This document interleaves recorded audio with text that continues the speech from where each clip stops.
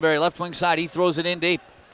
They've played 421 here in the second period. Still no score. Eckford in his own zone with a long pass to Davis. He gets by Redden on right wing. Davis right in. Davis shoots. He scores. Nice shot, top shelf there by Davis, breaking it off right wing, and Albany draws first blood. Yeah, that was a nice pass to Davis on the blue line. It looked like Redden fell down, and Davis was able to pick up the puck. We get a look on the in-house replay. It was a nice long pass by Eckford to Davis. We don't really get to see exactly what happened to Redden there, but it looked on the boards.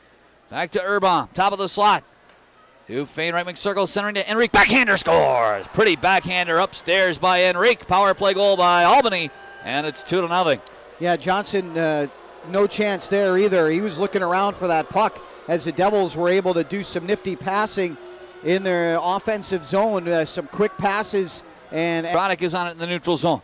To Soryal on right wing into the offensive zone. Soryal to Williams. Williams centers. Garlock shoots and scores!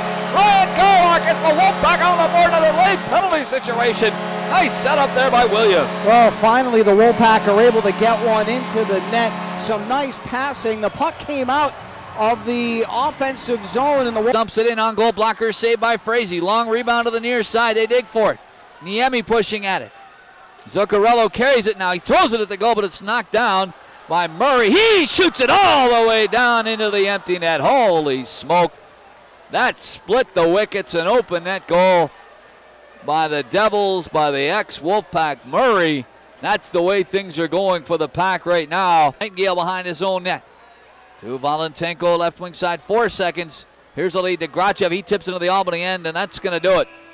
The Albany Devils will sweep their first ever season series with the Wolfpack